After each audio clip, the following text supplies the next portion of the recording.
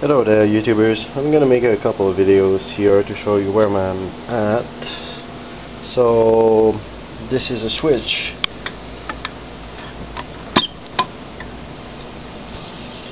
So what I did, it was an old fuse switch uh, as you can read here. Um,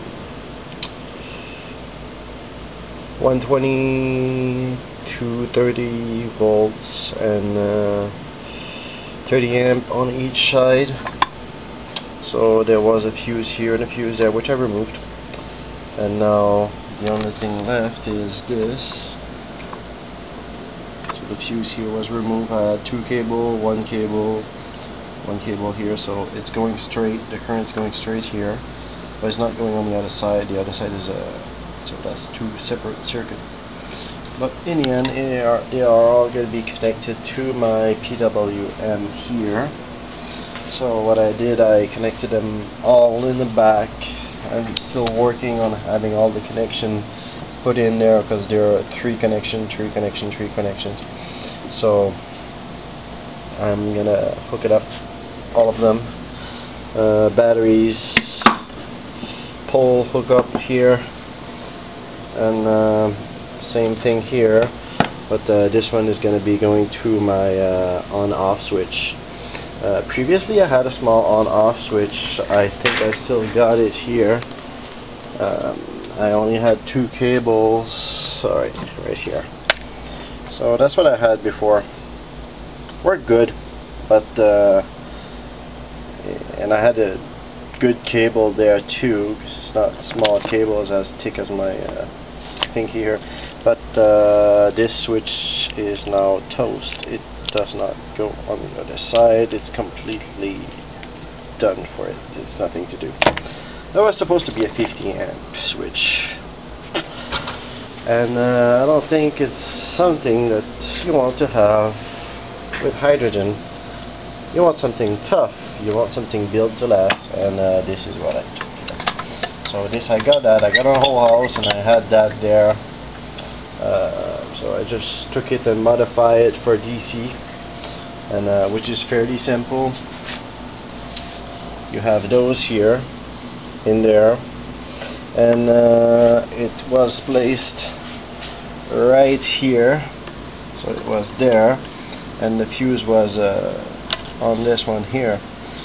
Uh, so if I was connecting here it was not going through because the bolt was there so that's basically that. Uh, the screw screw is there and uh, that's where the current was going from here to there. So if the screw is here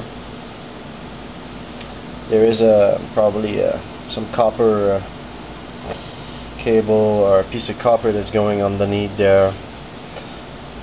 So basically that's what I did. I uh, I tested it uh, to make sure that the current was going through with uh, my uh, my tester here.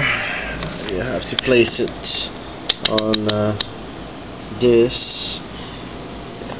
If the current is going through on the multimeter if you put together those two then it will show zero. If you remove it it will show 1 so you don't want any resistance. Basically that's what it is. It's testing the resistance on your line.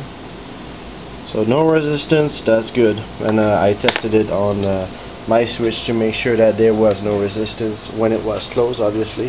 And uh, when it's open then uh, the resistance is 1 so it's not nothing is going through.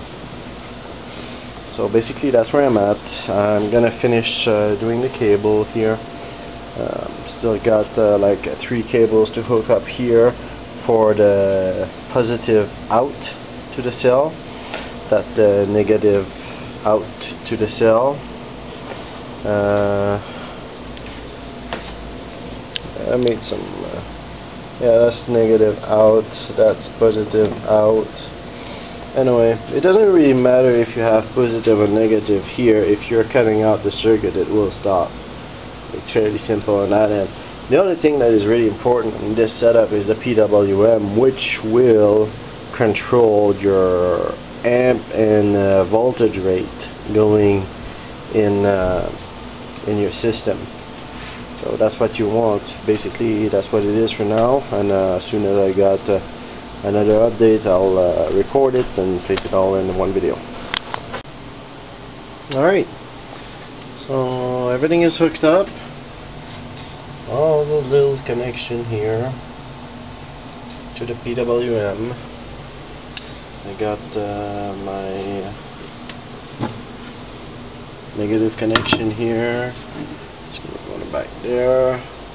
My positive uh, connection here. Right there with its connection right there. Which we are gonna go straight on my two batteries here so this is where I'm at. I need to connect that uh, connect the rest of the wires here all of them to my cell is going to be down there. And uh, we'll remove uh, the salt obviously from uh, my previous experience uh, didn't do much uh, will probably corrode my plates much more faster so uh, this will be gone for sure. Alright so this is where I'm at. Uh, looking pretty sharp actually as I don't have to um, clean it up all the time and that switch will definitely will hold.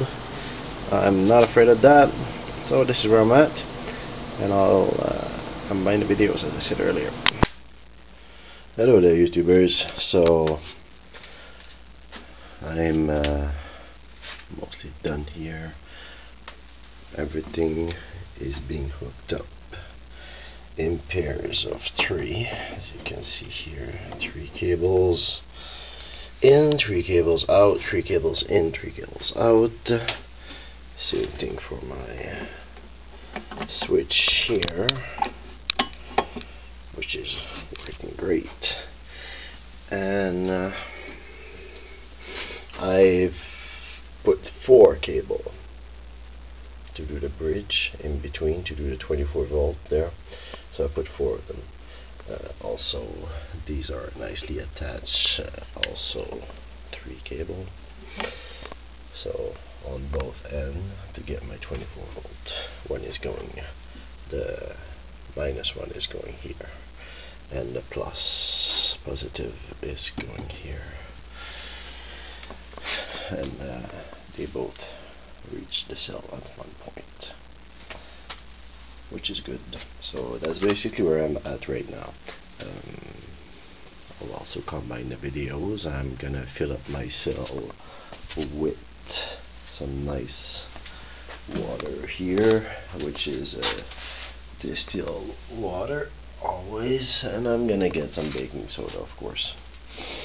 And uh, hopefully we're gonna get more results since this one is a 50 amp a 24 volt which will mean uh, much more watt than uh, the other one that I had before.